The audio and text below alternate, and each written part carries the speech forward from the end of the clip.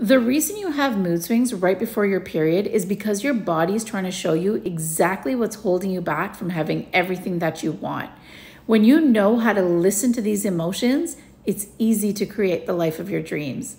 My name is Reenee. I'm a clinical herbalist and I help women around the world end painful periods and PMS and also step into the power of their menstrual cycle because your menstrual cycle is a tool of creation. It helps you to create your reality your period is a time of release. So, right before your period, your body is making you extra sensitive so you can see what it is that you need to release. You can see what beliefs you need to change about yourself. You can see what patterns you need to release. And when you release these patterns and you release these beliefs, you step into the next level version of you, the version of you that has everything that it is you want. And then it's very easy to attract and manifest in everything that you desire you have the right tools at hand to know how to understand what these emotions are trying to tell you, instead of feeling overwhelmed by sadness or anger, you start to have intuitive insight and guidance. You start to connect into those emotions and you start to understand more about yourself.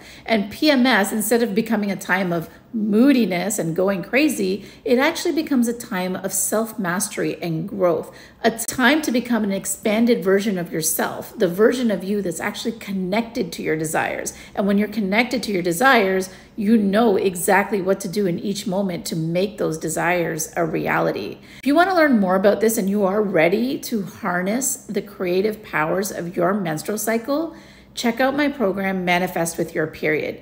In this program, you're going to have every tool you need to navigate those difficult PMS emotions and turn them into your best friend.